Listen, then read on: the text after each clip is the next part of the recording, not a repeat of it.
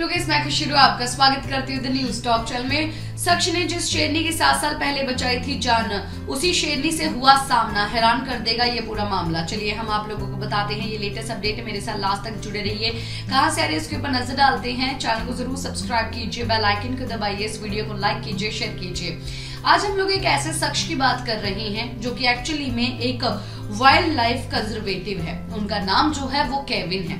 Kevin जो है, वो एक्चुअली में जंगलों में जाते हैं और वहाँ पर जो जानवर होते हैं, अगर वो जानवर काफ़ी ज़्यादा प्रॉब्लम में हो तो उन जानवरों की काफ़ी ज़्यादा मदद करते हैं। और यही उनका काम है और यही उनका पेशा और इससे ही वो काफ़ी ज़्यादा खुश रहते हैं।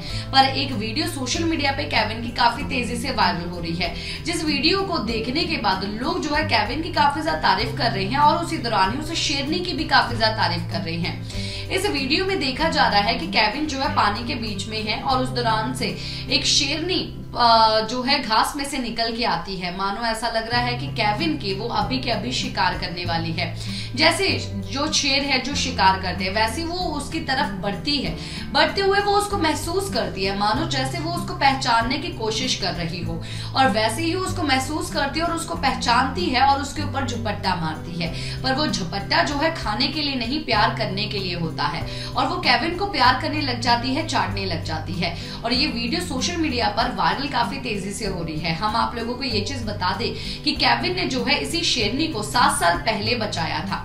जो एक्चुअली में वाइल्ड लाइफ में जाते हैं, जो जंगलों में कुछ लोग जाते हैं और शिकार करते हैं, या एक्चुअली में शेरों को वहाँ से उठा के ले जाते हैं सप्लाई करते हैं तो वैसे ही ये शेरनी जो है किडनैप हो गई थी। और केविन ने उनको किडनैपर से बचाया था और बचाने के बाद उन्होंने एक्चुअली में कुछ समय के लिए कुछ ऐसी जगह पर इस शेरनी को रख दिया था, जहाँ पर किसी भी इंसान का आना जाना ना हो। पर केविन को उसके बाद कहीं जाना पड़ा और सात साल के बाद जब वो वापस लौटे, तब शेरनी ने भी उनको याद रखा और ये चीज़ याद रखी थी कि इस शख्स ने उनकी जान बचाई थी। ये जानवर जो है, इंसानों से ज़्यादा एक्चुअली में दिमागी, दिमाग वाले होते हैं। इनको पता होता है कि किसने इनकी मदद की है और कौन सही दिल का है पॉजिटिव कौन है नेगेटिव कौन है। इंसानों से तो ज़्यादा अच्छे जानवर ही है, अगर आज की दुनिया में बात किया जाए। इसी के साथ मैं लेती हूँ इजाज़त, नमस्कार।